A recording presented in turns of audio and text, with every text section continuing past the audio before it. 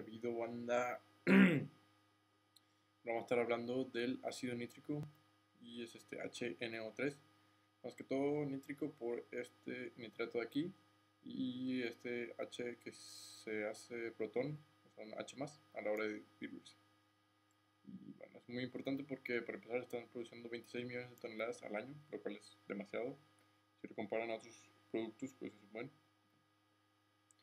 Y no solo por la cantidad que producimos, sino por la aplicación que tenemos.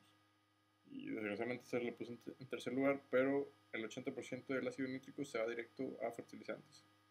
Es decir, el, ácido nítrico lo convertimos con amonia o amoníaco y convertimos a nitrato de amonio. Son también reacciones de nitración en la química y sobre todo explosivos, los cuales son buenos o malos. No sé si le suena el trinitro tolueno. Pues ahí está el nitro. Trinitro tolueno viene siendo TNT.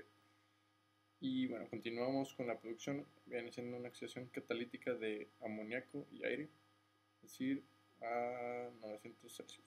Bueno, un poco de química. No se preocupen, no está tan complicado. O bueno, si lo ven lento, no está complicado. Pero déjenme, se los voy explicando poco a poco. Este acá, amoníaco, vamos a estar trayendo el proceso Haber. Ahí tengo un video, creo, si lo quieren ver. Es muy muy simple, simplemente viene el nitrógeno, lo combinas con hidrógeno y te produce amoníaco. Y se lo vamos a estar sumando a 5 cuartos de mol de oxígeno. Generalmente viene del aire, pero le podemos dar puro. Nos va a dar óxido de, nitrógeno y 3 medios de agua. Y este de aquí es el que nos interesa. Pues lo voy a circular, lo separamos y lo volvemos a hacer reaccionar con el aire para que nos dé este de acá. Este es muy muy importante, no sé si, se están dando cuenta, pero poco a poco estamos oxidando el nitrógeno a la vez que sacamos un poco de agua.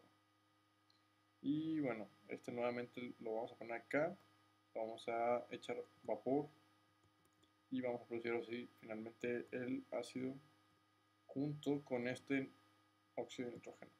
Este a la vez podría sonar muy muy raro, pero realmente esto lo regresamos para acá y podemos repetir el proceso.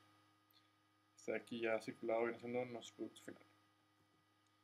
Y bueno, a mí me gusta mucho simplificar la ecuación porque a veces ayuda mucho más. Entonces, en resumen, estamos haciendo amoníaco y un poco de oxígeno para formar el ácido nítrico junto a este es H, 2 o Disculpenme, desde volado es H2O. Y bueno, más interesante aún para ingeniería, en la industria se hace por medio del proceso de Ostwald y el cual viene siendo simplemente, de hecho son las mismas reacciones, solo que acomodadas en un diagrama. Es amoníaco y le metemos aire o en el mejor de los casos oxígeno. Obviamente si le ponemos oxígeno puro es mucho mejor. Estamos por un catalizador, platino, etc.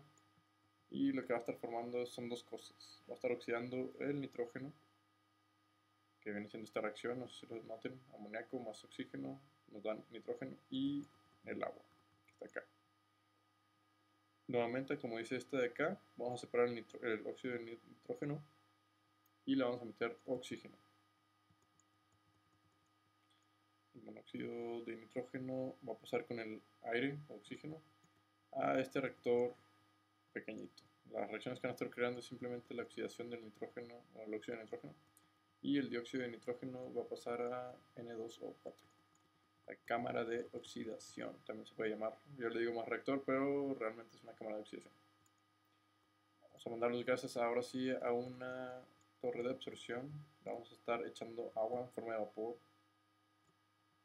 Y poco a poco va a estar el dióxido de nitrógeno va a estar reaccionando para darnos el ácido nítrico y todos los demás gases simplemente salen. Esos gases, vienen siendo vapor de agua, oxígeno, aire, dióxido de nitrógeno que no reacciona, etc. En la torre de absorción. Y eso es todo para el proceso, espero les haya gustado. No necesitamos nada más y ya, ya está. Oh, recuerden que es agua.